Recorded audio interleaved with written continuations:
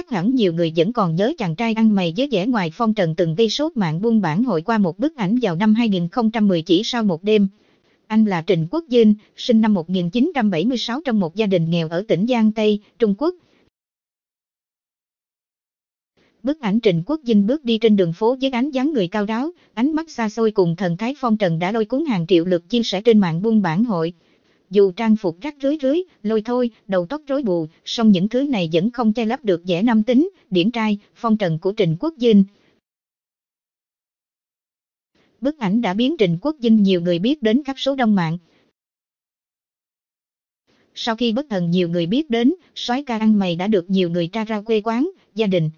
Được biết, gia đình của Trịnh Quốc Dinh không mấy khá giả nên anh đã phải lên đô thị kiếm sống từ năm 16 tuổi. Nhiều năm trước khi lan bạc khắp nơi, Trịnh Quốc Dinh có thời gian nhập ngũ và sau khi ra quân, anh trở về quê cưới vợ, sinh con làm công việc tay chân nuôi gia đình. Tuy nhiên, thảm kịch của người đại trượng phu này bắt đầu vào năm 2009.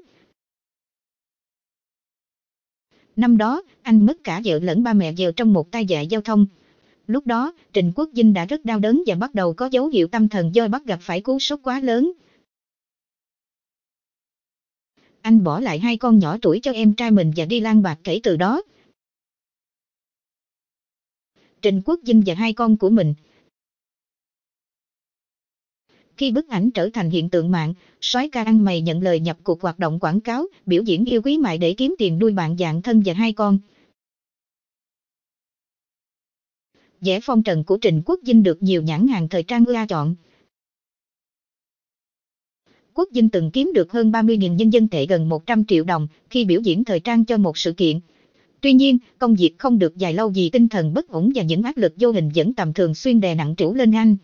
Thời điểm đó, có tin đồn rộ lên cho biết Trình Quốc Dinh bị một công ty lợi dụng để trục lợi và tấn công bóng tên tuổi, khiến anh phát bệnh và phải nhập viện tâm thần vào năm 2014. Sau thời gian điều trị, anh mất hút trên các trang mạng buôn bản hội. Vào 2016, một số tờ báo đưa tin rằng anh đã tái phát bệnh tâm thần, thậm chí còn trầm trọng hơn xưa và gia đình đã không còn đủ trình độ để chạy chữa. Từ lúc đó, Trình Quốc Dinh kế tiếp lan bạc, vẻ ngoài của anh cũng thay đổi rất nhiều với khuôn mặt già khậm, xuống sắc và không còn điển trai như xưa. Sự nhiều người biết đến khiến tinh thần Trình Quốc Dinh càng thêm bất ổn. Kể từ khi nhiều người biết đến, đến nay, sau 9 năm, người ta không còn biết Trịnh Quốc Dinh đã đi đâu, làm gì. Cho đến gần đây, một nhóm thanh niên đăng ảnh chụp cùng một người đại trưởng phu trong bộ đồ soái ca ăn mày từng mặc lên mạng buôn bản hội. Dựa theo vẻ ngoài, nhiều người cho rằng đó chính là Trịnh Quốc Dinh và khẳng định anh vẫn lang bạc trên đường phố, vẫn là một kẻ ăn mày dù trước đó người ta có gọi anh là soái ca, nam thần hay hiện tượng mạng.